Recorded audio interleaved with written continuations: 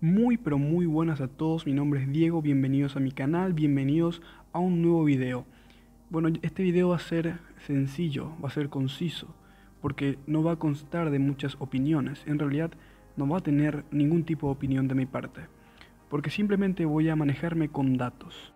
Seguramente todos estamos de acuerdo en que el fútbol te da la posibilidad de ganar varios títulos, varios, pero que hay algunos que están por encima de otros, es decir, que tienen más peso.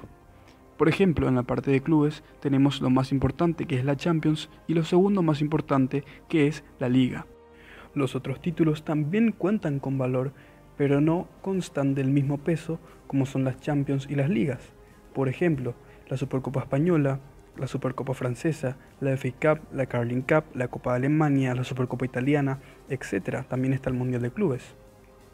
Y en la parte de selecciones, lo más importante es el Mundial y lo secundario sería para América la Copa América y para Europa la Eurocopa. Así que lo que vamos a ver y analizar en el video de hoy es la influencia directa que tuvieron Messi y Cristiano Ronaldo en la obtención de los títulos más importantes que ganaron a lo largo de su carrera. Empecemos por Messi, que ganó 10 ligas y 4 Champions todavía no ha ganado nada por su selección. Así que veamos el rendimiento de Messi en la obtención de estos títulos. Messi ganó 10 ligas con el Barcelona. 10 ligas. Y fue el máximo, pero no ser el máximo goleador no significa que no fue clave. Así que revisemos en qué temporadas realmente Messi.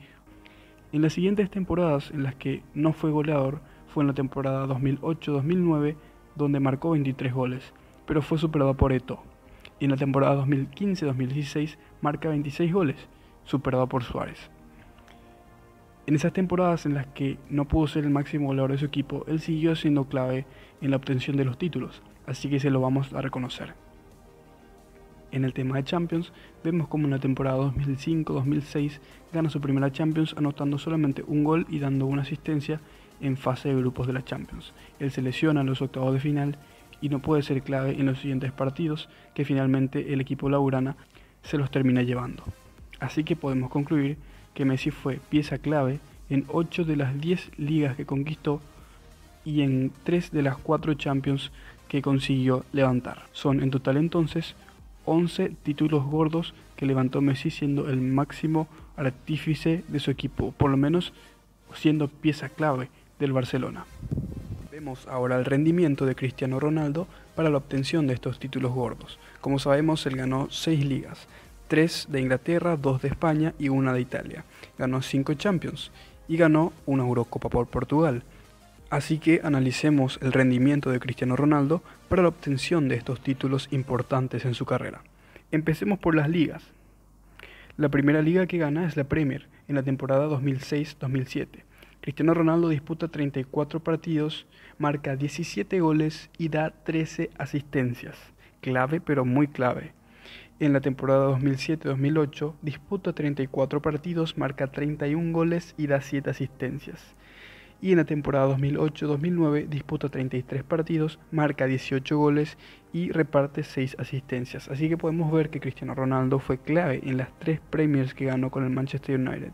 En España gana la Liga 2011-2012, en la cual, escuchen muy bien esto, en 38 partidos disputados marca 46 goles y da 12 asistencias. En la famosa Liga de los Récords donde rompen la y reparte 6 asistencias. Muy clave también Cristiano para la obtención de esa liga.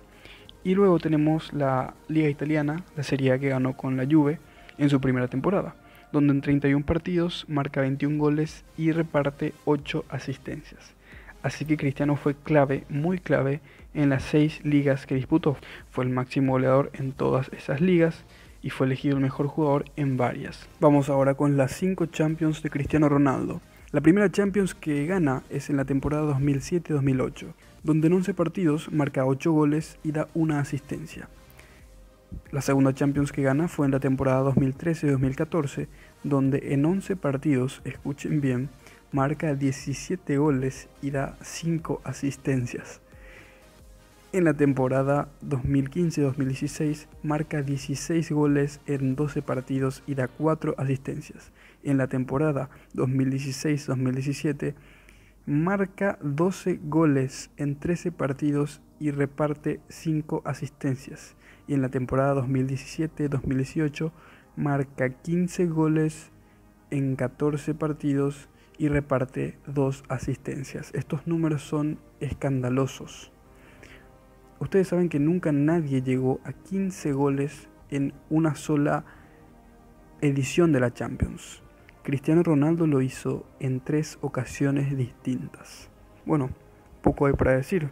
Fue el máximo goleador y máximo artífice en todas las Champions que ganó. Nos queda la Eurocopa por Portugal. Cristiano Ronaldo en siete partidos disputados en esa Euro, contando el de la final en la que jugó solamente 25 minutos por la lesión de Payet, marcó tres goles y repartió tres asistencias. En todo el campeonato Portugal solamente marcó 9 goles y de esos 9 goles Cristiano Ronaldo tuvo participación en 6, es decir, el 66% de los goles que Portugal anotó en esa euro fueron obra de Cristiano Ronaldo. Poco hay más para decir, también fue clave, también fue el artífice principal y no solo por los goles, sino también por el liderazgo y todo lo que transmite dentro del campo de juego. Así que lo impresionante de esto es ver que Cristiano Ronaldo fue el hombre clave y el artífice de cada uno de los títulos grandes que ganó a lo largo de su carrera, tanto la Euro como las 5 Champions y las 6 ligas, que se dice pronto. Entonces vemos como Cristiano Ronaldo suma un total de 12 títulos grandes siendo el máximo artífice, y lo que lo hace aún más complicado es hacerlo con tres clubes distintos y su selección. Messi suma 11 títulos grandes repartidos en ligas españolas, y Copas de Europa por el Barcelona. Cristiano Ronaldo suma 12 títulos grandes repartidos en 6 ligas de 3 países distintos, 5 Champions con 2 equipos diferentes y una Eurocopa por su selección. Así que yo creo que este debate está más que cerrado en este aspecto. Cristiano Ronaldo es un ganador nato y guía a sus equipos, no importa en qué país esté jugando, a los títulos más importantes que son las ligas, las Champions y en este caso por Portugal, una Eurocopa es lo más importante que ganaron en toda su historia. Así que muchas gracias por prestar atención al video, espero que les haya gustado, que le den like, que comenten, para que el video se recomiende y para que estas verdades puedan llegar a mucha más gente. No olviden activar la campanita para que apenas suba un video ya les llegue. Muchas gracias.